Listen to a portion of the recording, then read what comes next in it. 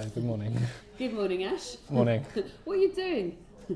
Uh, cutting and sticking at the minute. Bit of Blue Um, Peter, is it Today? Yeah, a bit of Blue Peter. What's, Um, what's this for? uh, well, what we do is we, um, we, when we release a deal and we do a deal report, we always print out a physical copy of the report, put it in a file. Yes. So um, we're just making a new one for deals 200 to 249 at the minute. And what deal are you on at the moment? Uh, 209 at the moment. yeah. And how long have we been doing this?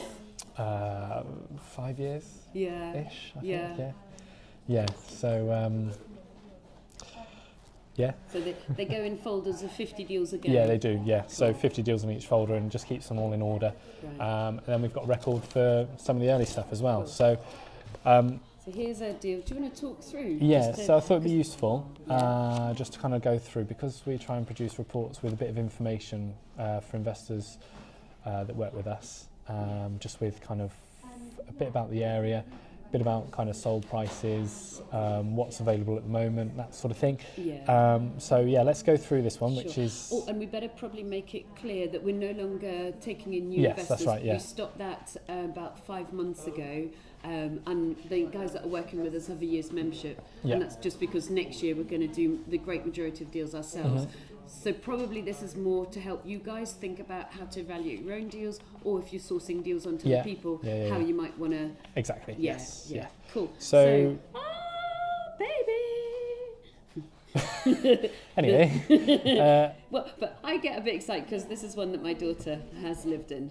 So, Uh, so yeah, so the deal, so the deal. Uh, so this is Mogg Street, uh, which we bought a couple of years ago now for uh, 150. Yeah. Um, at the time, we thought it would have a market valuation of 218. Yeah. Um, so I'll just run through the report But quickly. what so did it what did it value up at? I'll tell you at the end what Okay, it value up at. okay. So yeah, um, so bit of information on the front, just about kind of uh, purchase price, a bit of a rough overview as to what it is, where it is. Yeah. Um, and then we've got uh, a bit about the property, um, what sort of condition it's in. I mean, this one was pretty knackered.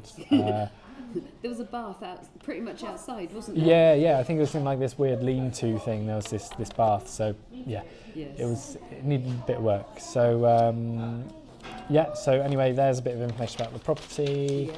Uh, a bit of information about the area Yeah. because quite a lot of our investors at this point weren't Bristol based. It's always important to put a bit bit of information in there about you know what's nearby, how quick it is to get into the centre, that sort of thing, Yes. um, and any kind of uh, schools, industry, that sort of thing that's in the area. And those are just really useful bits of information um, for you as well if you were buying your own deal. So, what Hmm. would be the purchase price, the end value done up, and what would be the rental and the gross? Yeah, yeah, yeah. And then what kind of conditions are in, and why would somebody buy it? You Yeah, know, the exactly. schools, the area, all that stuff. Yeah. So whether Yeah. it's for you or for someone else, that stuff's important. Exactly, yeah. So uh, that's a bit about the area there. Um, and then uh, we've got uh, where it is in location to Bristol City Centre. Yeah. So, you know, St Werburgh's is fairly close to centre in this Yes. instance.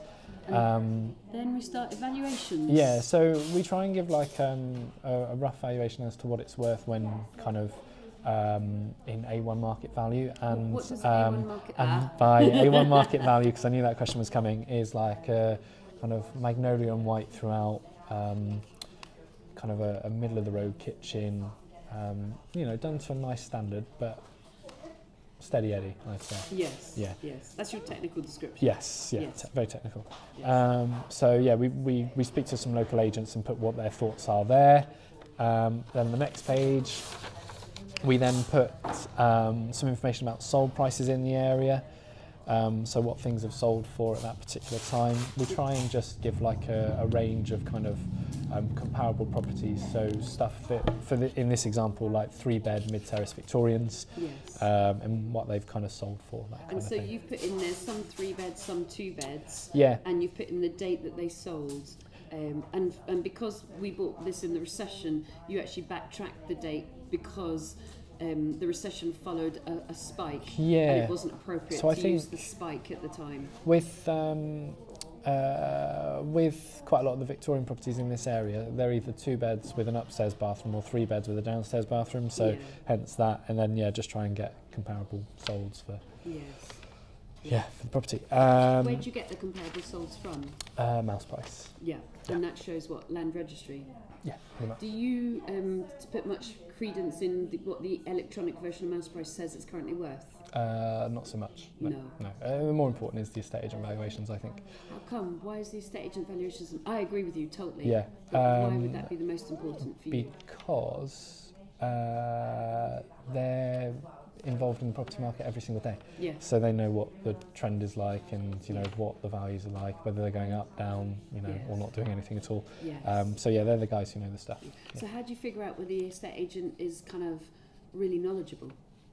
Because one thing Uh, people might be thinking, oh, but I don't, I don't know if they're telling me I mean, excitable information yeah, no, real um, information. it's a difficult one because for, for us, because we're speaking to the agents all the time, Yeah. um, yeah, they, they, they tend to just give me what they think. And then they can say, okay, I've got this one that's around the corner that's Yeah. for sale, that's had loads of viewings um, and loads of offers, or they've got one around the corner that they've put on for too much money yes. and they haven't got any viewings or offers. So, Yeah, yeah, yeah. it's just useful stuff. Got you. What's next? Um, Rightmove listings. Yeah. So similar properties in the area that are online, marked as sold or not sold. Yeah. Um, pretty self-explanatory, and that all comes from Rightmove. Okay. Um, and then next page, again more solds. Yeah. And then should be some rental information next. yeah. We, we didn't check this before we put it out. Ash is making faces yeah. going, I hope there is. So um, Theoretically, we'll put some rental information. yeah. So um, we put in some rental information as to what sort of rent you can get for it as well. Um, yes. These are normally always um, on an AST, Yes. um, so an assured shorthold tenancy for the whole house.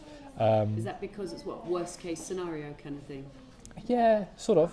Um, and also, you know, with, with this property in St Werburgh, it's actually in an Article 4 area, so yes.